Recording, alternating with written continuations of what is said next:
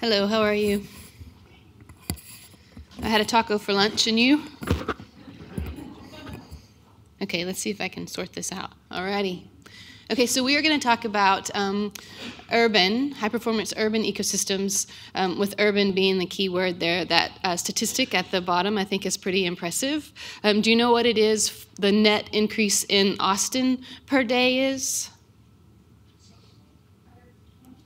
It's around 110 to 120 per day in Austin, moving in. So it just gives you some perspective on our urban ecosystems and what we need to get out of them. So uh, we, humans now, Homo sapiens, are now an urban species. Uh, with about 50% of us globally living in urban areas. And then in more uh, modernized countries, uh, regions of the world like US and Europe, it's around 80%. Um, we all know that Austin is growing tremendously fast. Um, I think, what's to say, the third fastest in the nation uh, one of the fastest growing metros in the US. And so, what that means is that our work is becoming more and more important because the green spaces are changing very rapidly, and we want to increase uh, the ecosystem performance or the um, high performance value of those ecosystems. And so, knowing that we're now uh, an urban species, what this means is that our interactions with nature, the benefits or the ecosystem services that we receive from nature, we now are more likely to receive those in the places where we work, in the places where we live, and in the places where we play. And so, unfortunately, though, uh, in our quest for sustainability, um, in many of the larger discussions about sustainability, we potentially overlook uh, the potential of our landscapes, and I think um, urban landscapes in particular. And my opinion, and I would love to hear yours on this, but my opinion is that this occurs largely because um, urban landscapes are often seen as being quite small. The site itself is small. Um, the uh, building or sets of buildings can dominate the site and can dominate kind of the brain power of the project team and, and often the budget of a project.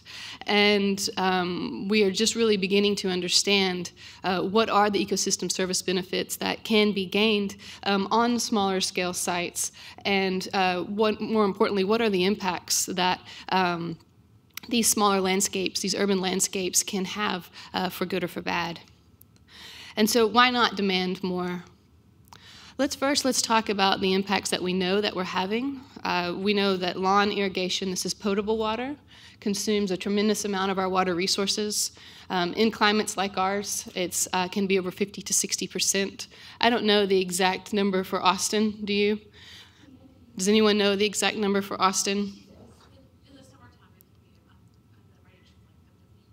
Okay, so she said in the summertime it can be in the range of 50 to 60 percent. Um, invasive species, we know that the vast majority of invasive species that uh, are in our uh, commercial trade were brought here for horticultural reasons. Um, it's the newest, the prettiest moving in. Um, the city of Austin does have, I think, a great um, invasive species management plan. So if you're interested in invasive species, it's a free document where they've identified the document um, and they've identified the invasive species. They also go into detail with how to treat those invasive species, both from an IPM standpoint as well if you have to move on to more detailed chemical uh, methods, which in some, unfortunately, you do. You can find that information there. We also know that stormwater runoff from developed landscapes is now the leading cause of water pollution in urban areas. And when we talk about stormwater runoff, it's very easy in our brains to switch to this sort of scenario where you're thinking, yes, it's coming from the impervious surfaces, it's coming from all the roads, it's coming from all the roofs and the parking lots. But the truth is, a tremendous amount of the pollutants that are being picked up are also coming from our landscapes.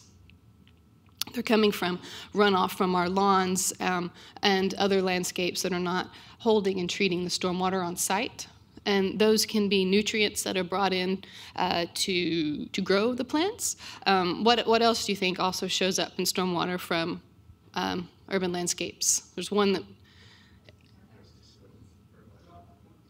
fecal dog poop. Yeah, there's a lot of fecal coliform in there. Um, and so uh, there's a big concern about uh, people you know, touching and getting sick. And so, how our stormwater and our landscapes, um, if we can keep them if we can keep the water on our site, if we can treat it on our landscape, then we're reducing the impacts that we'll have into our, our larger water bodies. So what we're going to do today is think broadly about our developed landscapes and um, hopefully recognize some of their untapped potential. And I think their untapped potential lies in the science of ecosystem services. And how many of you are familiar with the science of ecosystem services? I understand that Jonathan Garner was here this morning. Um, SITES, the Sustainable Sites Initiative, is based on the science of ecosystem services. And, and what it is, basically, ecosystem services is a very wonky and hard big word, uh, which means something that we all know intuitively. It means the goods and the services provided by uh, ecosystems, both urban and rural, any ecosystem that sustain and fulfill human life. I believe that this is the key attribute of um, sustainable landscape design is the provision of ecosystem services. Um, and recently, uh, within the last several decades, scientists have uh, begun to try to value ecosystem services. And the reason for this is because um, in our thinking, in our global thinking, it's often very hard for us to appreciate something that doesn't have a monetary value associated to it. And so, um, not that I think you can put a monetary value on some of these things. However, what we've seen is that the value is twice the global gross national product for the world. And so what we're saying is without these, we're in big trouble. Um, and so it is in our best interest to start thinking about ecosystem services in all landscapes. So historically, one of the reasons we haven't thought about them is, you know, um, the hinterlands way far yonder, where humans were not necessarily, is where the ecosystem services were generated, right? Um, but now we know because of the population growth um, that we have to start thinking about the provision of ecosystem services in our urban landscapes, in our cities, in our suburbs, in our downtown environment. This is the um, courthouse in Chicago, and then also in our residential landscapes. In all of our settings, now there's an opportunity for this. Uh, this is a residential a site certified project by the name of Taylor um, that's in Pennsylvania. If you wanted to look at a residential project that was able to meet site certification, did Jonathan talk about this one today? Yeah, then you could find out more there. Um, so when I'm talking about ecosystem services and bringing them into our urban environments and thinking about them in your design, uh, I think there's a few that specifically um, are important for our climate. And so uh, we'll focus on those today. And that's the global and local climate regulation. And so what we know is that green spaces help control temperatures at both the global and local scale. And by placing um, very strategically trees, uh, vines, vegetated structures, we can not only decrease the amount of energy that a building uses, but we can also um, shade uh, surfaces, primarily dark surfaces that absorb energy during the day, release the energy slowly at night, and create an urban heat island. And so the urban heat island is why, if you were to look at um, uh, watch the news at night, a weather map, you would see that city is uh, the city of Austin or any large city across the U.S. is typically about 10 degrees warmer at night than the surrounding rural areas. This is one of the reasons why. And so we care about this because um, when it is warmer at night, what do we need more of that we didn't need before? AC, air conditioning. Yeah, we're running we're running um, energy at night. We're using more energy, running more AC at night that we didn't need before. And then I think the other impact that's equally as important is um, people don't want to be outside when it's hot. They, they are not experiencing nature. They are not enjoying going outside. They're not experiencing their community. They're not taking value of the green space around them. And so, by um, very carefully selecting our vegetation where we place it, this is something that all landscapes can, can focus on. Uh, cleansing and storing water. We know that there's a symbiotic relationship between vegetation and soils and soil biota, and all of these things work together to capture and treat pollutants.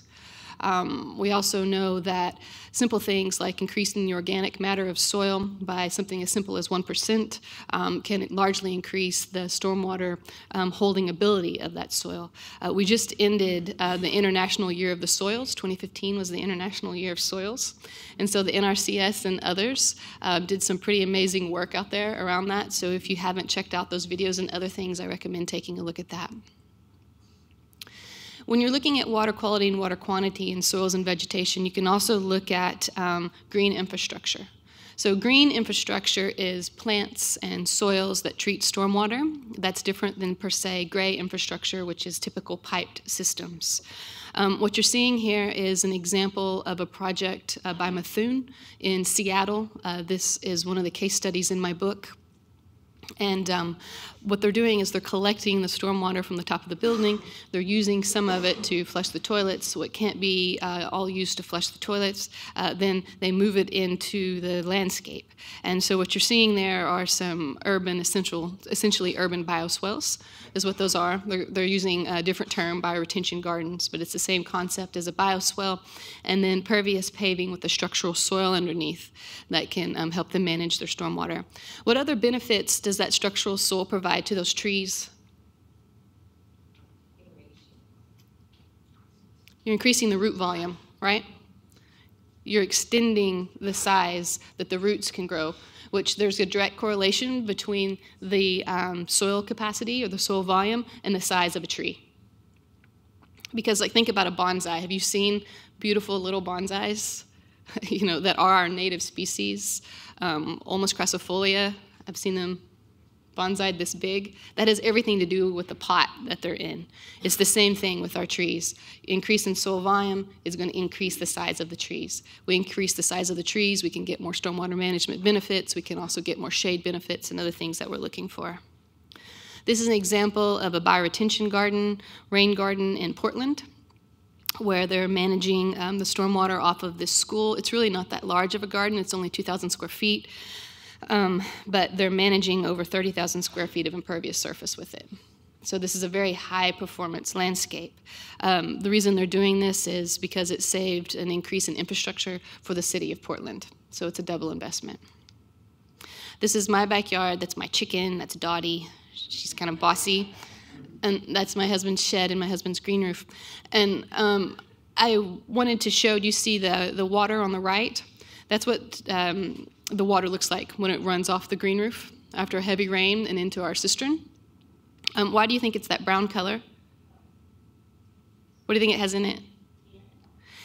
You know, the, the green roof um, has quite a bit of compost in it um, because it's, it's a very lightweight inert material, but then you have to have the compost to provide the nutrients and also some water holding capacity. So basically, what's running off of that green roof is compost tea.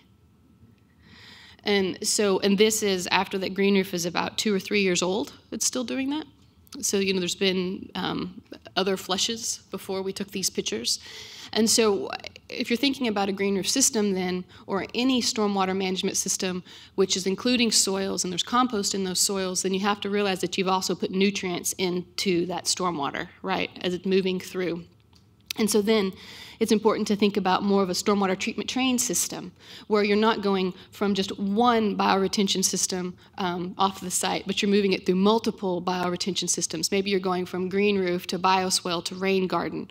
You're moving it very, very slowly across the site in these small features that can be um, easily integrated into the design, but that uh, provide many options for you to um, capture all of the water on site and to treat it on site.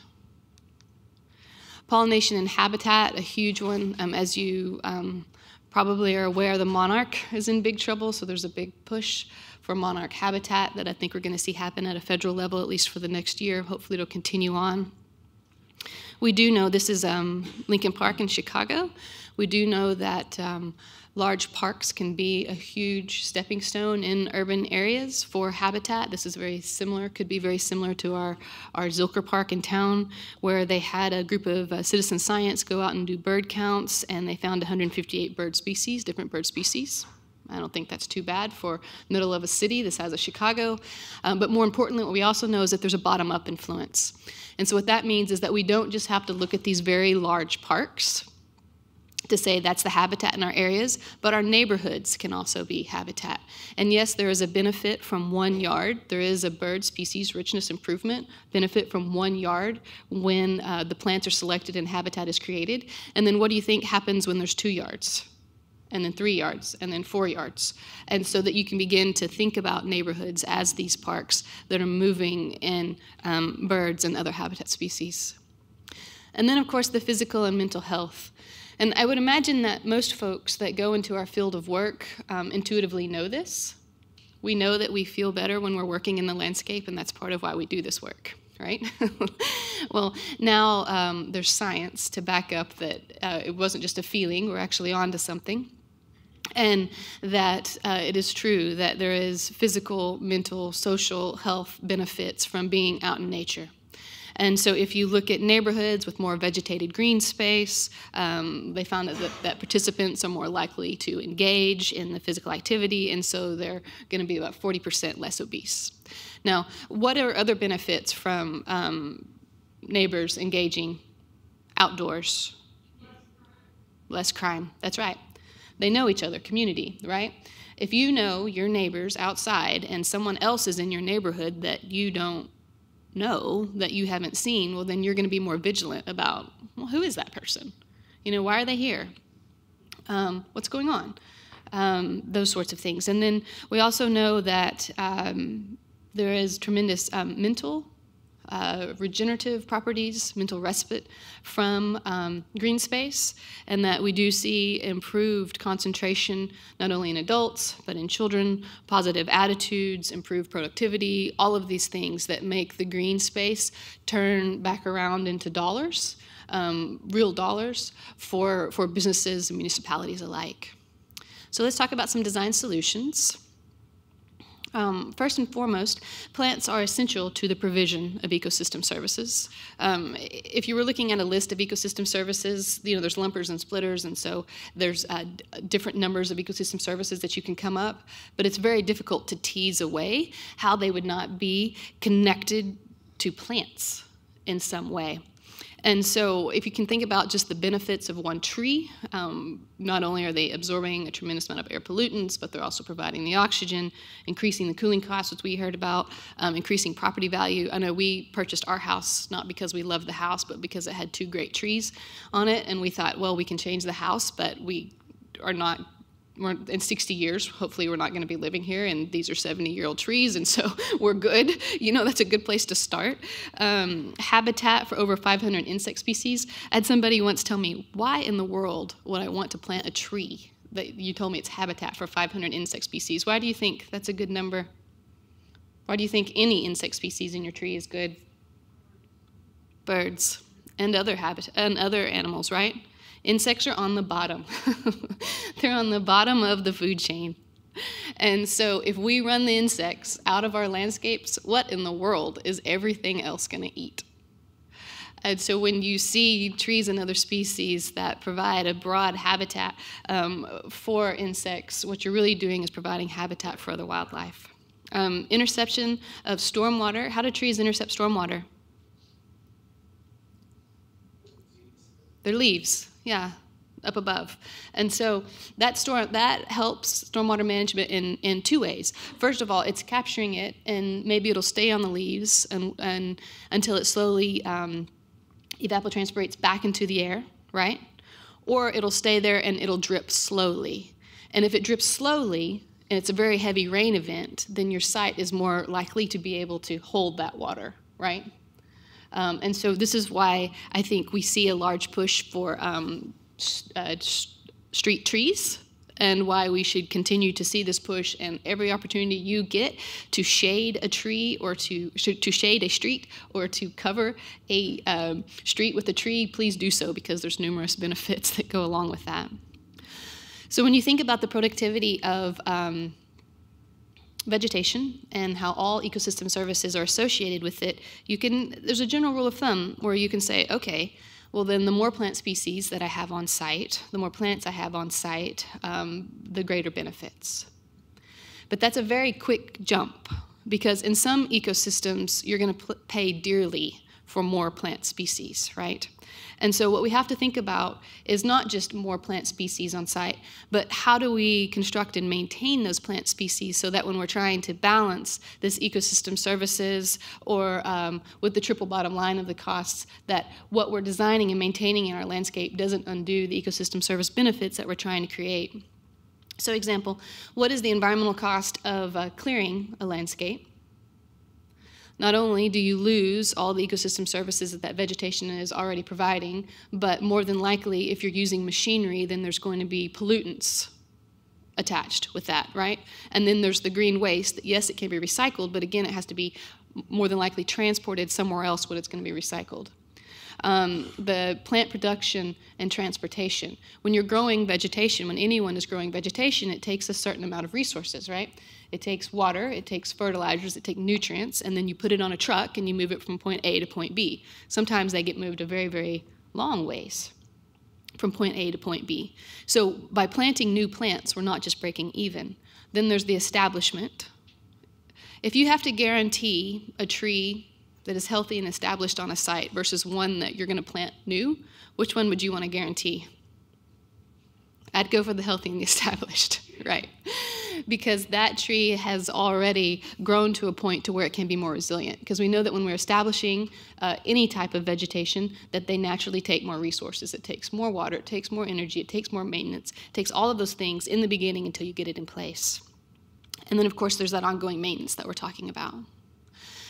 So, the problem that we have in our industry is this cycle uh, remove, replace, rebuild, remove, replace, rebuild, remove, replace, rebuild. When you think about how often landscapes are completely flipped over, and then all of those costs, those environmental costs that we talk about with flipping them, um, that's huge. And then also when you think about the ecosystem services that can be provided, but they must be provided, um, or they're more likely to be provided when landscapes, vegetation is allowed to live for a longer time, right? And when the maintenance of that landscape is considered very carefully so that you're always looking at the water impacts, the carbon impacts, um, the air pollution impacts, all of those things. So, a really simple thing to do is to incorporate existing vegetation into the site. We've already talked about why you would do that. This is a Lake Flato project, one of my favorite um, architects, where they did some fancy, fancy work with the um, foundation so that they didn't damage the tree. Um, who wouldn't love to move into a house that had trees like that already established, you know, where the architect thought very carefully about how do you um, not only just miss the tree trunk, but you also miss the roots and you also project, protect the longevity of that tree. This is a tree um, in a development near, near my house here in Austin. And you notice that the architect was required to go around the tree, so good for them. But now look at what the landscaper is doing to the tree. Look at, they're storing their materials on there. They're turning up the tree roots. They're compacting the dickens out of that soil. And so, yeah, the architect did what he was asked to do. He stayed out of it. It was fenced off during construction and all those things. Now we're turning it over, and I, I don't, I don't know that we're doing much better there. So our industry can have a huge impact um, because of, of these sorts of um, situations. And it's not it's not good enough to say, well, if this tree dies, they'll have to pay a fine, and um, then they'll have to plant 10 more, right? No, because if you look at the ecosystem service benefits of a, a 5 inch DBH bur versus a 25 inch DBH bur and you think about how long it takes to get there, you can see that the difference in the benefits is huge. And then if, if that tree is only going to live for 20 or 30 years before another developer comes in and cuts it down or messes it up or somehow it gets um, messed up during construction, then we're not getting anywhere. And so not only do we have to be very careful that the buildings don't damage our trees during constructions, but also our landscapes. I think it's important that um, we go ahead and we take the big jump and we begin to talk about eliminating potable water use after establishment from our landscapes. I know that's really scary in a climate like this. I get it. I garden.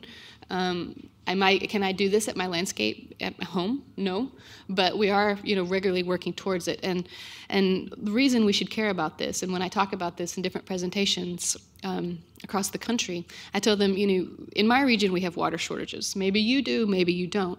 But the other reason why you should care about uh, potable water irrigation in the landscape is because it has a huge environmental footprint. It takes a lot a lot of energy to clean water and to move water. And so when you're thinking about the energy budget of your landscape or the environmental impacts of potable water, it's not just water shortages, it's, it's also energy. So when we're designing our landscapes, instead of designing it and then backing out and seeing how much water we're using, if we flip that and we say, okay, how much precipitation and on-site alternative water resources does this site have available? That monthly budget equals the monthly budget that we want to use in our landscape. And start from there and see how far you can get down that net zero potable water goal. And so there's all kinds of ways we can do this, really old technology, active rainwater harvesting, collect it now, use it later, passive rainwater harvesting, which is bioswales, rain gardens. How does this help? Slows it down. What else is it doing? It's recharging the water in the soil. And then if you have organic matter in the soil and you have other in the right plant selection, then you have water waiting in the soil for your landscape rather than running off down the street. What about AC condensate? Any of y'all using AC condensate? There's a building outside that says this landscape uses AC condensate. Climates like ours, that can be a lot of water, a lot of really good water that typically runs at the same time that our cisterns are dry right? Because our systems are dry because it's summer and it's not raining, but AC condensate, you have AC condensate because we're running our air conditioners. And so you can often combine your AC condensate with your rainwater and then use that to double up on storage so that you don't have to have two separate systems. And again, you know, this works for very large buildings like this. It can also work for um, very small residential buildings. Um, I'm surprised at how many homeowners don't know where their AC condensate water goes it's typically dripping somewhere outside of their house. And if you can get to that water, it's a very good source of water. And then gray water. Texas is one of the seven or eight states across the United States that will allow you to use gray water. There's lots of issues around using gray water that we don't have time to go into now. But, um, and those issues are typically related with salt. Um, and, and so maybe we could talk afterwards or, or, we can talk another time about how you would use gray water more effectively. But on any house that's pier and beam, or you can get easily to those pipes underwater where the, um, the, the pipes are not in concrete, the water outside of your bathtub, the water outside of your sink, those sorts of things is just waiting. It's out of your shower is just waiting for good use. And you know, when you're talking about salts, do you know um, two species commonly found in our landscapes in plethora that don't mind salty, salty water because they come from salty, they come from, um, yeah, um, saltwater ecosystems, more or less. St. Augustine in Bermuda. They just think about where they come from naturally, coastal regions, and there's more salt there. And so those two species are more likely to do well with, um, with gray water. All right, so lastly, the one we're really going to dive into today is um, soils. And I think soils is a resource that are often um, overlooked um, for many reasons. Uh, sometimes I think because they're a little scary because it's chemistry and it's other things that not everyone is comfortable with. I know I, I'm not always comfortable with it. I've had to stretch my brain a lot to learn more about soils. But it is important that we protect and restore the ecosystem services provided by soils. Now, soils are more than just mineral content, right? It's not just sand, silt, and clay, sometimes gravel. But there's also the organic matter in the soils, um, gases uh, that, that interchange with the atmosphere above and that are also produced by uh, roots and soil biota within the soil, and then the water, and the water that's necessary for the chemical reactions. So why do we care about soils? because there are specific ecosystem services that are related to just soils.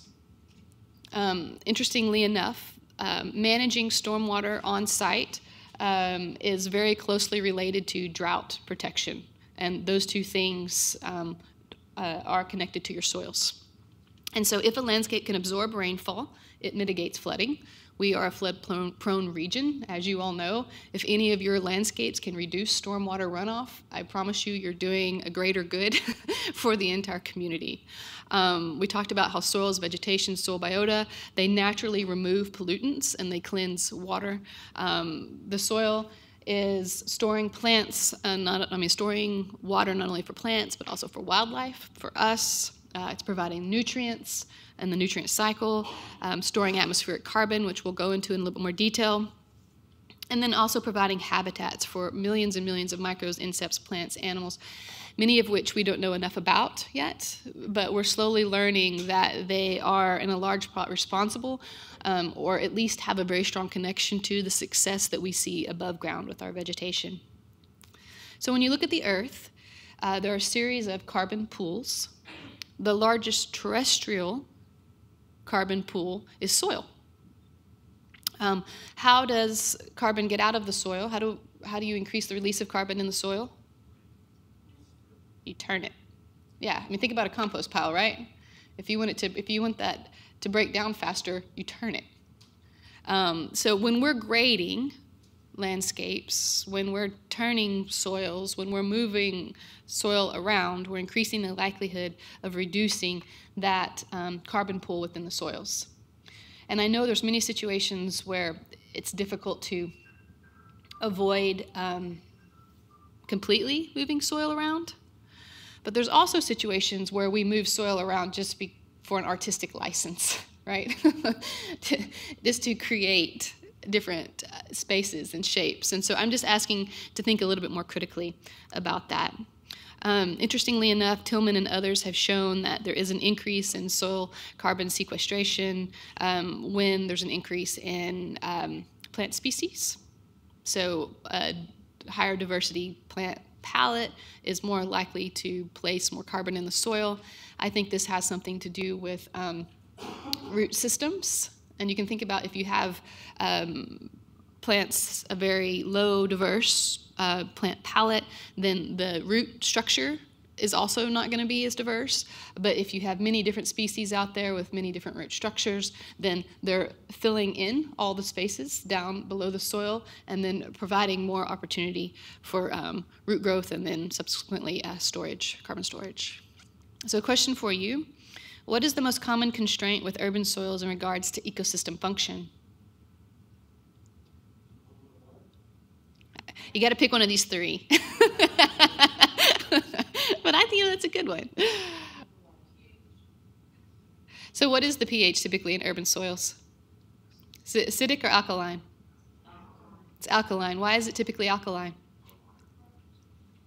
Has to do with our water, but it also has to do with urban construction materials, primarily concrete if you're measuring soils, the closer you get to concrete or where they've built concrete, you're probably going to see an increase in the pH. And that's because what is the basis of concrete? Lime, yeah, limestone. So urban soils often have a higher pH. But the, the primary concern in urban soils is compaction. And so why do we care about compaction? Um, because it contributes to erosion. Um, it's restricting the plant growth. Uh, if it's limiting the soil's ability to absorb water and it's decreasing the soil's biological activity. So the roots and the soil biology both need the same thing to grow, right? They need air and they need water. When you compact soils, what are you squeezing out of the soils? Pore space, which is air. When water moves through the soil, where does it stay?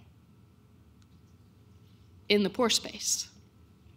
So if you compact your soils, you're reducing the amount of air that's in the space. You're also reducing the space that is there to hold water. Um, and so you can look at charts like this. Uh, this is um, looking at the different type of soil textures.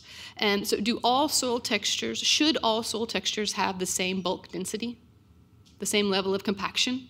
No. Um, and the green lines that you're seeing here is the maximum allowable bulk density, where uh, each soil texture becomes root limiting. So you'll notice that it's 1.33 at clay, and then way over here at sandy loam, it's around 1.66. That has to do with the particle shape and the particle size of clay and how much easier and how much uh, more compact clay can become than sand.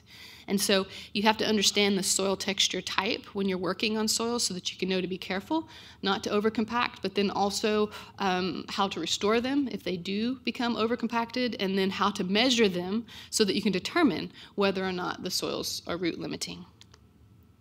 So, common causes of soil compaction um, first and foremost, construction and maintenance equipment, um, repeated traffic, whether it be pedestrian or otherwise, rainfall, on bare soils. It's really important to cover up our soils with mulch or vegetation or what have you in our urban ecosystems. Um, continually removing organic matter. Why, why would that um, increase soil compaction?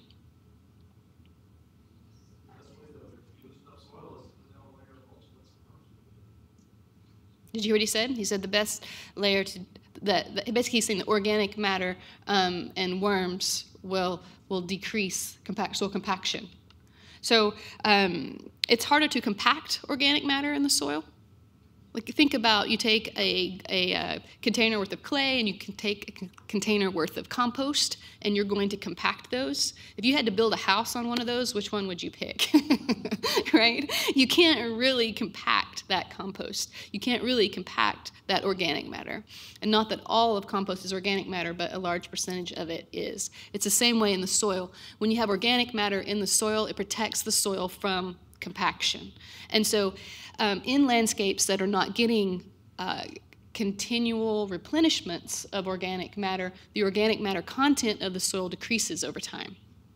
Right? Because how does organic matter get into the soil typically? Roots, leaves, plant materials, all of these things. If we go and we rake off all of the roots, all of all of the plant matter that's feeding that soil. You're you're robbing the soil of organic matter that it needs for all of these other ecosystem service benefits that we're talking about. So if that's part of a landscape maintenance regime, then you have to think about, okay, how am I going to replenish that organic matter on the soil? So how would you do that? You would mulch with compost. What do you think is going to turn into organic matter faster, compost or mulch? Wood mulch, compost. Um, is rock mulch ever going to get there? Yeah, not in our lifetime. Right. And so, thinking about the mulches that you select for your landscape, the maintenance practices, and continually feeding that organic matter content, I think is very important. How do you determine the organic matter content of your soil? How? You have your soil test done. Yeah. And it's, it's something that I think should be done on a regular basis. Um, you're going to know your goal based on your reference ecosystem. Um, I usually shoot in this landscape for somewhere around 3 to 5%, somewhere. Um, that changes depending upon the plant palette and the amount of water that we're putting into the landscape and all of those things. But our native soils are somewhere in that range. What happens if you put too much compost in a soil? Can you put too much compost in a soil? I'll ask that. What does it do if you put too much compost in the soil? It's going to load your nutrients. What else is it going to do? It could increase the soil water pollution because it's loading the nutrients. It's also going to stay wet um, because you're going to have a lot of, um, of, of ability to hold water. And then when um, we add carbon, uh, organic matter, not don't forget I say carbon. When we add organic matter to the soil, um, does that stay there forever? It burns up, right? And what's burning it up? The soil biota. The soil biota. They're eating it. It's their food. Um, and so, if you put a, when you're putting a lot of organic matter into the soil over time, does it appear that that soil volume decreased? Does the soil shrink? Yeah, because it probably did, right? The organic matter was burned off. So you can have too much organic matter. Um, so thinking carefully about knowing where you're starting and where you want to go is very important so that you don't run into larger shrink, shrink swell issues and so that you also don't um, run into landscapes that hold too much water and then also the nutrient loading and pollutants that we were talking about. Um, compaction also comes from working wet soils. I know we all get pushed to do this because we're behind on a project, particularly in a winter like this where you can't seem to get uh, very many dry days, but there is a higher likelihood of damaging soils working them when they're wet, and then also the repeated tillage. Um, so some design strategies for landscapes under construction. Uh, prior to starting construction, hopefully prior to starting design, you conduct a detailed site analysis um, and you develop a soil preservation plan. Which soils would you want to preserve?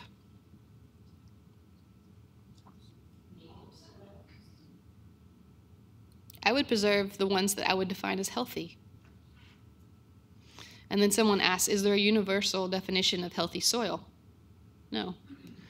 It has to do with the plant palette that you're anticipating going back in the landscape. It has to do with the program plan for the landscape, what, what you're going to do on that landscape, and also the local ecosystem.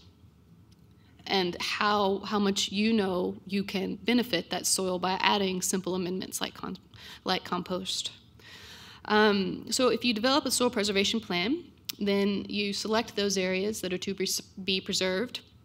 You can protect them by enforcing tight limits of construction. Um, on my projects, we physically fence off those soils, um, or you can designate, um, or in some places, you can talk about soil harvesting, which we'll talk about more in a moment. Um, and then I think it's important, um, and hopefully the contractors in the room will appreciate this, um, to work with the contractor and understand that they have to get into that landscape. They are going to be using equipment. They do need spaces for material storage. Um, the soil management plan can't be something that I do by myself in a corner and then I hand to the, the contractor. It has to be a conversation where we have, where I always want them to use less space, they always want more space, and then somewhere we come into the middle with, with something that we can all agree upon. But very much, very, very, very important that they're part of that conversation. Uh, so when you can't fence off the soils that are to be protected, um, you can harvest them. When you harvest topsoils, what do you do with them? You put them in a big pile. How big of a pile?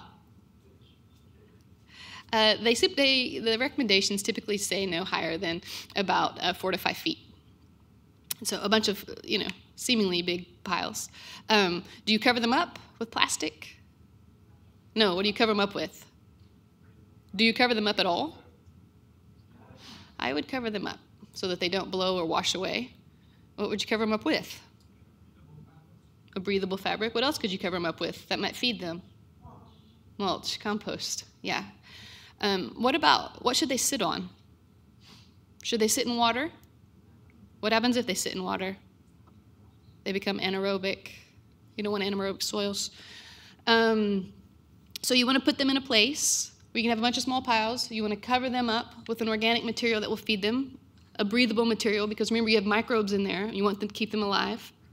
If you want to keep them alive, you have to give them water, you have to give them air, which means you may need to sprinkle the soil mounds a little bit. And you also want to put them in a place where it's well drained so that they're not sitting in water so that they don't become anaerobic over time. Um, soils that are going to have light um, equipment across them, you can protect them with layers of mulch, very, very thick layers of mulch, coarse woody mulch. Think about that compaction. Using the lightest equipment possible. Um, my specifications usually call for around 4 psi, and contractors using equipment specifically that is around 4 psi, um, and then avoiding working soils when wet. I think the other important issue to talk about in our industry when it comes to soil is soil volume. Uh, this is a place where um, value engineering comes in, which is a funny term, which really means cutting costs. Um, and soils are often cut uh, they're cut because who knows they're cut, right? So we see quality of soils being cut, and we see quantity, volume of soils being cut, and then we see a thin veneer of higher quality soils going on top, and then what's what's left for the plants to grow in. And so we talked about how there is a direct correlation between the amount of soil volume and the size of a plant. We also talked about the amount of water that can be stored in a soil when you increase the organic matter. Um, and so you can begin to think about the size of your plants, um, how long you want them to live, how long your client wants them to be there, and then you can begin to justify why you need higher quality soils and why you need more soil volume. And as a typical rule of thumb, uh, you need a minimum of two feet of cubic soil per one square foot of mature tree canopy. Just something to think about when you're designing landscapes and you're, and you're arguing for these soil soils to stay in place and not be cut. Um, moving away from soils and into maintenance, I see uh, the field of sustainable landscape maintenance as being a huge area for economic growth in the future. It's the direction in which we need to go. It's the directions in which in which I push all of my clients to as best as I can. Um, and so what we're moving away from is scheduled maintenance that happens because it's March or April or September or what have you, to more adaptive maintenance. And this is a higher level of skill. And I think this is why you're in the room, right? You've committed to a series of learning sessions and improving your skills so that you can be recognized as being able to, provide a better product. And this better product is adaptive land management, um, which is monitoring the landscape, looking at the needs of the landscape, and then determining the maintenance. Do, can you see how that's a very different approach? Um, and then another important thing is this continued learning and the feedback loops, which is absolutely necessary to improve um, our future work in the industry. This part's a little scary. Um, you have to go back, you have to monitor what you did, you have to see if it's working or not working. If it's not working, figure out a way to uh, improve it, and then be brave enough to go stand up in front of people or different scenarios and talk about what worked and what didn't work. Um, if you're looking at a system like the Sustainable Sites Initiative, there is a credit for monitoring. I don't think the point value is quite high enough, but it is one that um, I really encourage my clients to go after because how are we ever going to learn if we don't monitor and if we don't talk about what we're doing?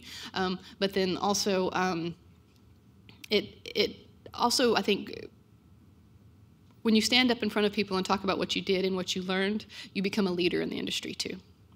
So it's a wonderful marketing tool for businesses out there. Um, I was asked to talk about a local sites project, and so I chose to talk about one that I think you may all be aware of, even if you don't know you're aware of it, because it's taking up a huge part of downtown right now, all those cranes. Um, and it's uh, the University of Texas's medical district. The university, along with other partners, is building a new uh, hospital, um, teaching facilities, all of these things to bring a new medical school to downtown Austin on the existing campus. And so this was the site before construction. This was the site after we removed the vegetation, and now we're beginning um, with the buildings. So a couple of things that I'm proud of with this project is we are going to reach the 80th percentile um, for stormwater management, which means that we are going to capture and evaporate, infiltrate, or reuse our 80th percentile storm event, which is a little over one, one inch storm um, inch um, on site. So from all that impervious surfaces uh, that are going on that, the large buildings, the large parking lots, the other things, we're going to capture that water and we're going to reuse it on site to the 80th percentile. This is a big deal for the university. Um, improving the function of Waller Creek is another one that I'm very excited about and very proud of for this project. If any of you have looked at Waller Creek, it's not a shining example of how we should treat our riparian corridors, yet it runs through the middle of Austin and influences so many folks, or could potentially influence so many folks. The University of Texas um, is the largest landowner of the Waller Creek watershed. And so, this work that we're doing um, at the medical district hopefully will continue to creep its way up to the entire corridor through the university. And so, as you might imagine, um, largely what we're doing is removing the invasive species and uh, that we see down in uh, that creek, which has not been an easy task. Um, for many reasons. We can talk about it more later, uh, but we are getting somewhere. We are going to replace, of course, you have to fill a hole, right? You can't remove an invasive species and then leave the space empty because you're going to get more invasive species back. Um, we're, we're filling that hole with then a native plant community. Um, we're restoring the damaged soils um, and we're greatly increasing the plant volume on this site, the plant soil volume. Um, we're increasing the biodiversity. We are moving in many areas to more of a meadow area, um, so many more native plant species going in. Once they get established, hopefully will be greatly to reduce uh, maintenance as opposed from regular lawn mowing activities. And then important for the entire community, um, there's going to be a vast increase in the amount of access through this space. Trails and other bicycle pathways that link to other parts of Austin, you'll be able to go into this part of campus and move around and move through. So very exciting stuff.